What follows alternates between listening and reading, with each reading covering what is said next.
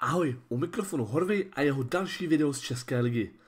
Tentokrát se podíváme na zubek pražské Spartě, která se navzdory poměrně dobrému výsledkovému startu v české nejvyšší soutěži zmítá v krizi. Sparta navzdory dobrému výkonu nestačila na Suboticu ve druhém předkole Evropské ligy a z evropských pohárů se pakuje už na začátku nové sezony. Její souhra navíc ve většině zápasů dře a nedá se říci, že by se postupně zlepšovala.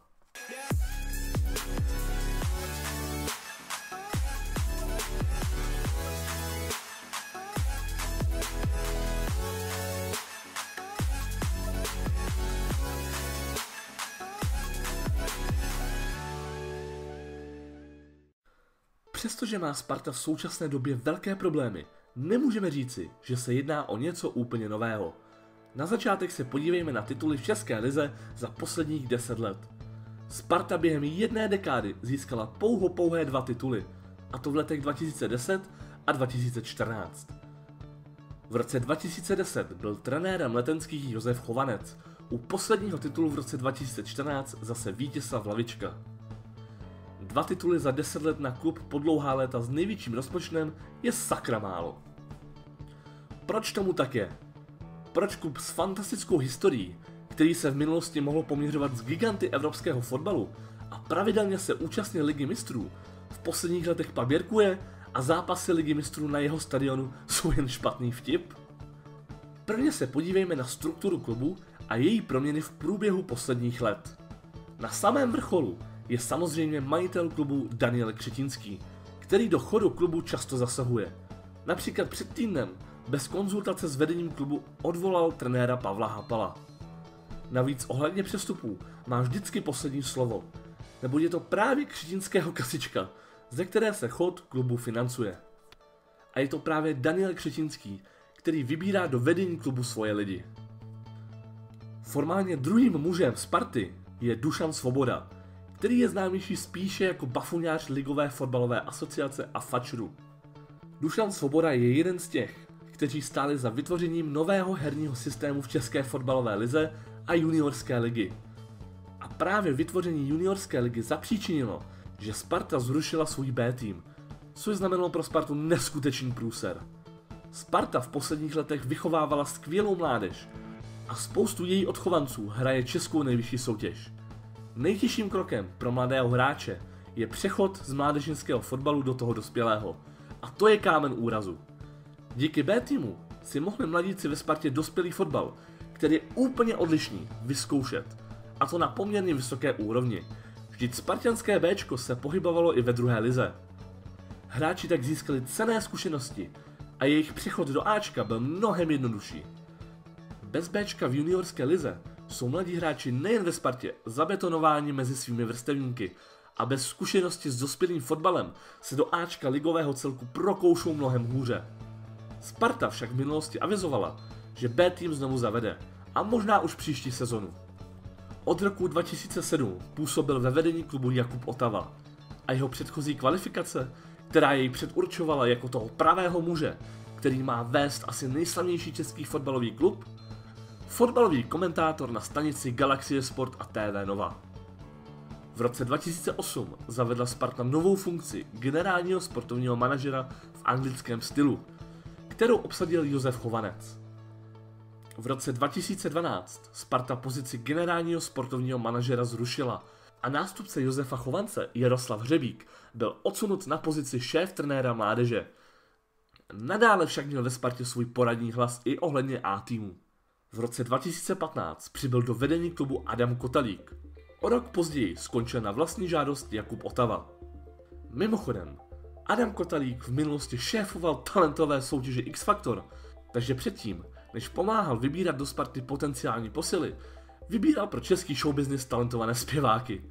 Inu, pro fotbalový management je to určitě skvělá kvalifikace. Těsně před odchodem Andreje Stramačonyho nastoupil do pozice sportovního ředitele bývalý kouč letenského celku Zdeněk Šťastný. V biznisu to tak asi chodí běžně, že kvůli špatným výsledkům vyhodíte svého zaměstnance a za necelý rok a půl jej přijmete zpátky na pozici generálního ředitele. Po konci své hráčské kariéry se navíc součástí vedení stal Tomáš Rosický. A konečně, Do chodu A týmu má samozřejmě co mluvit i samotný hlavní trenér. Navíc od října 2016 se ve vedení klubu pohyboval i Tomáš Požár. Matematika mi ve škole moc nešla, ale pojďte počítat se mnou. Na chod A týmu má ve Spartě vliv v podstatě zároveň sedm lidí. Nyní je to Daniel Křižínský, Dušan Svoboda, Adam Kotalík, Jaroslav Hřebík, Zdeněk Šťastný, Tomáš Rosický a hlavní trenér, kterého Sparta aktuálně hledá. A pozor, jako bonbonek se má dle deníku Sport připojit ke Spartě její bývalý hráč Jiří Novotný. Na jakou pozici, to ještě nevíme. Ono se sice říká, že víc hlav, víc ví, ale v tomto případě je vysoký počet funkcionářů na škodu. Kdo z nich nese odpovědnost za neúspěchy? Kdo z nich nese odpovědnost za složení kádru? Koho z nich v případě špatných výsledků odvolat? Ve vedení Sparty je neskutečný myšmaš. Upřímně řečeno bordel. A pokud chce Daniel Křetínský nějakých úspěchů dosáhnout, musí tento chlív co nejdříve vymést. Jak by struktura fotbalového klubu jako Sparta měla vypadat? Aby vedení fungovalo transparentně a každý měl jasně stanovený díl odpovědnosti? Na vrcholu pod samotným majitelem by měl být generální ředitel, který by měl na starosti celkovou sportovní koncepci klubu, tak koordinaci výchovy mládeže, PR, scoutingu nebo práci s fanoušky. Kdo by měl být generálním ředitelem Sparty?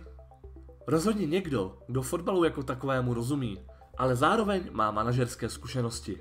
Takovým člověkem by mohl být třeba Ivan Hašek nebo kontroverzní Miroslav Pelta, který fotbal navzdory všemu dělat zkrátka umí.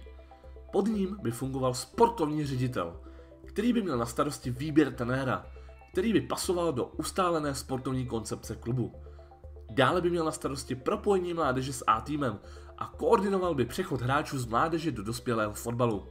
Zároveň by po konzultaci s trenérem A týmu vybíral posily. Na takovou funkci by měl podle mého názoru nastoupit co nejdříve Tomáš Rosický, který fotbalu bez pochyby rozumí, jeho slovo má váhu a zároveň může Spartě pomoci svými kontakty v zahraničí. Pod sportovním ředitelem by fungoval už jen hlavní trenér A týmu a paralelně vedle této struktury šéf trenér mládeže, kterým je v současnosti Jaroslav Řebík, jeden z největších fotbalových odborníků u nás. Z důvodu jeho vysokého věku by však Sparta měla hledat nástupce, kterým by mohli být Hřebíkovi žáci, třeba Martin Hašek nebo Václav Vílek. V současné době jsou to však oba úspěšní trenéři a na podobnou funkci mají ještě dost času. Ruku v ruce s prací vedení klubu jde i sportovní koncepce, kterou si klub stanoví a s ní volba vhodného trenéra. Jednoduše, jedná se o určitou filozofii nebo cestu, které se přizpůsobí veškerá činnost klubu. A jaká je spartianská koncepce? Člověk, který spartianskou koncepci objeví, by měl dostat Nobelovu cenu, protože něco jako dlouhodobá koncepce ve Spartě zkrátka neexistuje. Sparta dosahovala dílčích úspěchů naposledy za Vítislava Lavičky, kdy získala svůj poslední titul a pohár. Poté se na Spartě objevil Zdeněk Šťastný, který sázel na zkušené hráče ze svého kádru a téměř ignoroval mladíky z dorostu. Před semifinálovým zápasem Českého poháru, ve kterém Sparta nasadila 11 z dorostenců, prohlásil, že si jména svých dorostenců nepamatoval a že na to musel mít papírek a trenéra Holoubka. Podle mě by trenér, který chce dlouhodobě v klubu pracovat, měl znát tamní mladé naděje, aby je případně mohl začlenit do kádru A týmu. Poté, co skončil u Sparty Zdeněk Šťastný, vsadila Sparta na bývalého trenéra dorostu Davida Holoubka, který jakoby byl pravým opakem Zdeňka Šťastného. David Holoubek, možná i kvůli četným zraněním, sázel na mladé hráče. Často dostával například přednost mladý Lukáš Juliš před Davidem Lafatou. Člověk by si řekl, že Sparta chce začít budovat mužstvo na svých odchovancích, jelikož mládež má opravdu kvalitní. Bumbrásk, David Holoubek se na lavičce na jaře 2017 ani neohřál a už ho nahradil Petr Rada. Který naopak většinu mladíků, kteří do té doby u A týmu působili, upozadil a přednost naopak začali dostávat zkušení borci, jako Lukáš Vácha nebo David Lafata. Ještě před koncem sezóny plánoval Petr Rada požádat vedení o příchod hráčů jako je Jugas, Filo nebo Řezníček. Daniel Křetínský měl v té době již jiné plány. Na lavičku přivedl italského trenéra Andrew Stramačonyho a společně s ním početný realizační tým a 11 hráčů za 100 miliony korun, převážně ze zahraničí. Po prvních třech jarních kolech Byl však italský trenér odvolán a na jeho místo přišel Pavel Hapal. Přestože Sparta podle slov nového sportovního ředitele Zdenka Šťastného setrvala na své zahraniční cestě, najala opět zcela nekoncepčně trenéra, který z cizích jazyků ovládá pouze Němčinu a španělštinu, nikoli angličtinu, která je pro chod spartianské kabiny klíčová. No a po odvolání Pavla Hapala usedl dočasně na lavičku opět Zdeněk Šťastný. Kruh se uzavřel a Sparta se nikam neposunula. Možná naopak. Vidíte tam někdo nějakou logiku? Abych to schrnul, jestli chce Sparta dosahovat dlouhodobě úspěchů, musí se stavit transparentní vedení z fotbalových odborníků a ne komediantů, kteří budou fotbalovému řemeslu rozumět a kdy bude mít každý z nich svůj díl odpovědnosti a v situaci, kdy se nedostavují výsledky, bude všem jasné, který článek uvnitř struktury klubu ponese následky.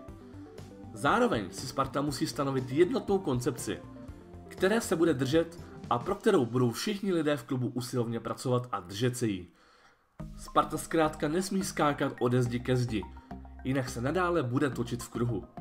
A s tím souvisí všechno. Výběr hráčů, trenérů, výchova mládeže, ale i stanovení herního systému, který by měl být ideálně stejný od žáků po A tým a jakmile dorostenec nakoukne do Ačka, měl by se již cítit jako ryba ve vodě. A na závěr ještě připomenu, že pro Spartu bude stěžení vytvoření Bčka, a to v co nejbližší době.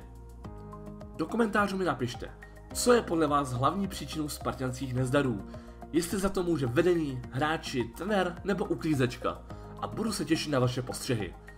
A nezapomeň lajkovat, sdílej video na Facebooku a klikni na odběr, ať už ti žádné video nejen z České fotbalové ligy neuteče.